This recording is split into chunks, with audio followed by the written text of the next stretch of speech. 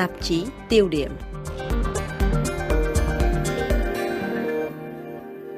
Kính thưa quý vị, nước Đức đang gặp bất ổn, kinh tế trì trệ do tăng trưởng bị suy giảm, chính trường Đức thì bị phân mảnh và phân hóa sâu sắc. Gần đến kỳ bầu cử châu Âu và bầu cử vùng tại Đức, đảng AFD, đảng cực hữu dường như đã thu hút được khoảng 20% ý định bỏ phiếu theo một thăm dò. Liên minh cầm quyền tại Đức như đang bên bờ tan vỡ và vị thế của Thủ tướng Olaf Scholz đang bị lung lay. Phải chăng mô hình Đức đang đến hồi kết?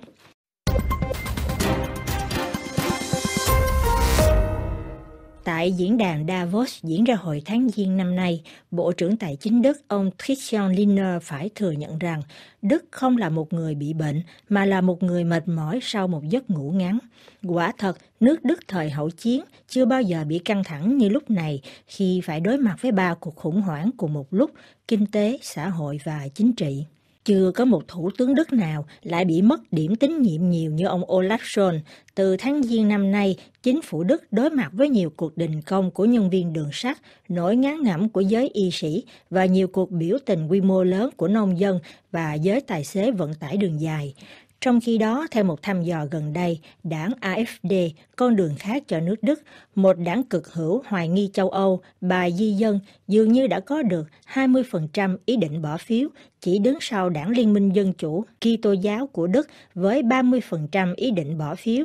Chính trường Đức còn bị phân mảnh khi có thêm một đảng chính trị, bà Di Dân và thân Kremlin, nhưng lần này là thuộc cánh tả.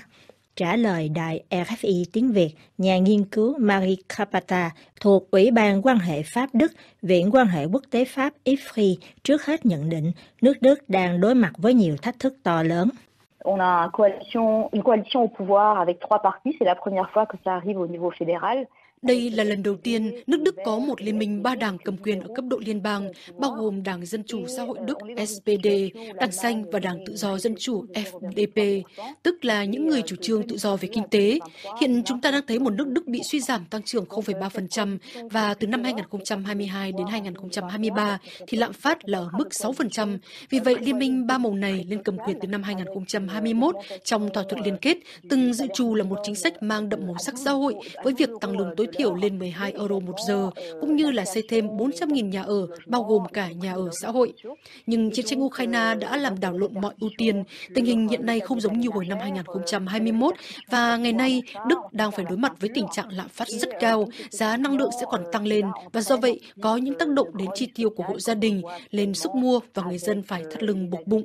Quả thật, điều đó đã dẫn đến bất bình xã hội như những gì chúng ta đang thấy hiện nay với việc nông dân không hài lòng vì bị cắt hỗ trợ cho các phương tiện nông nghiệp, rồi chúng ta còn thấy nhiều cuộc đình công, chẳng hạn như là nhân viên ngành đường sắt đình công đòi tăng lương để phù hợp với mức lạm phát hay như giảm giờ làm việc. Các số liệu thống kê vừa được công bố gần đây cho thấy Đức là quốc gia duy nhất trong Liên hiệp châu Âu có nền kinh tế bị suy thoái, GDP giảm mất 0,3% trong quý tư năm 2023. Nguyên nhân là vì tuy có một nền kinh tế rất cởi mở, tập trung chủ yếu vào xuất khẩu, nhưng lại phụ thuộc nhiều vào Trung Quốc, kim ngạch xuất khẩu của Đức sang Trung Quốc giai đoạn 2022-2023 đã bị giảm mất 9%. Theo giải thích của Marie Kapata, chiến tranh tại Ukraine đã làm lộ rõ những khuyết tật của mô hình kinh tế và công nghiệp Đức. Oui, tout à fait. Alors, ce qu'on voit, c'est qu'effectivement, en Allemagne, on a une industrie qui est très forte. On a euh, effectivement des industries. Quả thực, ở Đức, họ có một nền công nghiệp rất mạnh. Đó là những ngành công nghiệp lớn sử dụng nhiều năng lượng, tạo nên những nét đặc trưng cho mô hình kinh tế Đức, cụ thể là công nghiệp hóa học, công nghiệp sản xuất nhôm và thép. Hiển nhiên đây là những lĩnh vực bị tác động nhiều nhất do giá năng lượng tăng. Vì buộc phải từ bỏ nguồn cung năng lượng của Nga, Đức phải tìm kiếm những nguồn cung mới, bất kể là từ Hoa Kỳ, Bắc Âu hay là trong vùng vịnh. Và đây là những nguồn năng lượng đắt đỏ gây khó khăn cho tính cạnh tranh của mô hình kinh tế Đức. Ngoài ra, Đức còn phải đối mặt với tình trạng các đối tác thương mại nhưng cũng là các đối thủ cạnh tranh chính như là Trung Quốc, Hoa Kỳ đang trang bị cho mình các chính sách công nghiệp. Những nước này có xu hướng tự cung tự cấp và do vậy, thông qua luật chống lạm phát ở Mỹ hay Made in China 2025 tại Trung Quốc, họ đề nghị một khung pháp lý có thể hấp dẫn đối với một số doanh nghiệp nhất định được thiết lập dựa trên cơ sở công nghiệp Đức. Ở đây đúng là có một nỗi lo phí công nghiệp hóa nỗi lo di rời hoạt động sản xuất sang các vùng khác trên thế giới.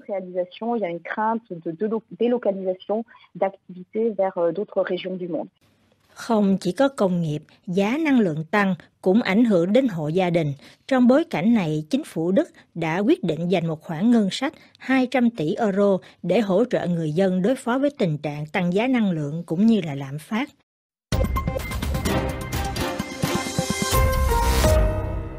Trong chính sách di dân, chính phủ Thủ tướng Olaf Scholz cũng đang hứng nhiều lời chỉ trích hiện tượng nhập cư bất hợp pháp tăng vọt từ hai năm qua, chủ yếu qua các ngã đến từ Nga, Belarus, Hungary và Slovakia. Năm 2023, tỷ lệ đơn xin tị nạn ở Đức chiếm đến một phần ba trong toàn châu Âu, mà phần đông là người Syria, Thổ Nhĩ Kỳ và Afghanistan. Hệ thống tiếp nhận người di dân tại nhiều địa phương ở Đức đã bị quá tải. Nhưng người ta còn nhớ, năm 2015, Thủ tướng Đức thời đó là bà Angela Merkel đã từng tuyên bố xin trích, chúng ta có thể làm được điều đó. Câu nói này biểu tượng cho một xã hội rộng mở đối với di dân, nhưng kể từ giờ, nước Đức siết chặt chính sách nhập cư, văn hóa tiếp đón bị tan rã, người dân bức bối và di dân đang trở thành một chủ đề gây căng thẳng. Mô hình tiếp nhận dân nhập cư của cựu Thủ tướng Đức Angela Merkel phải chăng đang bị lỗi thời? Marie Capata giải thích tiếp. Aujourd'hui, la question qui se pose, c'est comment intégrer ces personnes sur le marché du travail allemand Hiện tại, câu hỏi đặt ra là làm thế nào hội nhập những người đó trên thị trường lao động của Đức.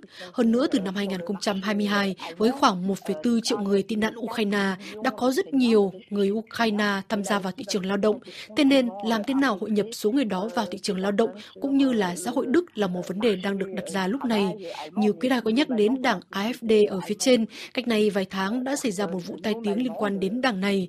Theo các tiết lộ, thì trong các cuộc họp bí mật của AFD ở Potsdam, với sự hiện hiện diện của nhiều lãnh đạo đảng AFD cũng như là nhiều nhân vật cực hữu khác thì vấn đề tái di dân đã được đề cập đến như tìm cách đẩy những người không phải là người gốc Đức cũng như là những công dân Đức gốc nước ngoài ra khỏi nước Đức. Vụ việc gây ở Mỹ, rất nhiều người Đức đã xuống đường biểu tình trên khắp cả nước. Điều đó chứng minh rằng vẫn còn có một sự bền bỉ rất là lớn, một sự năng động lớn của nền dân chủ tại Đức, một xã hội dân sự rất năng động. Nhưng quả thực, chúng ta thấy là có một xu hướng giống như của đảng cực hữu AFD hiện đang thu hút được một ý định bỏ phiếu cao trong các cuộc thăm dò. Nếu như ở cấp độ liên bang, đảng cực hữu này thu được 20% mức ủng hộ, thì tại các vùng ở phía đông nước Đức, tỷ lệ này là 30%. Và mùa thu này, các cuộc bầu cử vùng sẽ diễn ra ở các bang Thuringe, Saxe và Brandenburg, những bang ở phía đông mà theo truyền thống các đảng cực hữu và cực tả luôn thu được kết quả cao. Theo nhận định của nữ chuyên gia về quan hệ Pháp-Đức Marie Capata với RFI tiếng Việt, thì đà tiến này của AFD có thể sẽ có những tác động trong cuộc bầu cử nghị viện châu Âu sắp tới, với một chương trình tranh cử chủ trương giải thể nghị viện châu Âu, nghĩa là muốn có một châu Âu mà ở đó các quốc gia có chủ quyền. AFD thực sự là một mô hình trong số nhiều đảng khác trong khối Liên Âu. Trong một bối cảnh địa chính trị căng thẳng đầy phức tạp do cuộc chiến tranh tại Ukraine, chính phủ Đức đang chịu nhiều áp lực và nước Đức đang gánh chịu toàn bộ hậu quả của cuộc chiến từ việc tăng giá năng lượng cho đến lạm phát. Donc il y a énormément de priorités qui sont chamboulées en Allemagne. Nhiều ưu tiên ở Đức đã bị đảo lộn, nhất là trên phương diện an ninh và quốc phòng, khi đưa ra quyết định tăng ngân sách quốc phòng lên mức 2% của GDP để lập ra một quỹ đặc biệt trị giá 100 tỷ euro nhằm hiện đại hóa quân đội Đức. Trên bình diện năng lượng, Đức đã cho thấy sự kiên cường và thích ứng với việc từ bỏ phụ thuộc khí đốt Nga. Về kinh tế, nước Đức cũng đang phải tiến hành một số thay đổi nhất định nhằm giảm bớt tính chất dễ bị tổn hại trong mối quan hệ với các nước thứ ba.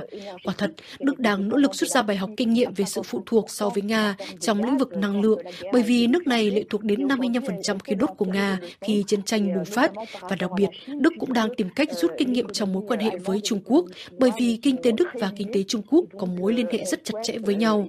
Họ mong muốn đa dạng hóa các nguồn cung cũng như là thị trường xuất khẩu, các đầu ra sao cho không phạm lại những sai lầm tương tự đối với Nga. Rõ ràng, nhiều thách thức đang đặt ra cho nước Đức của ông Olaf Scholz.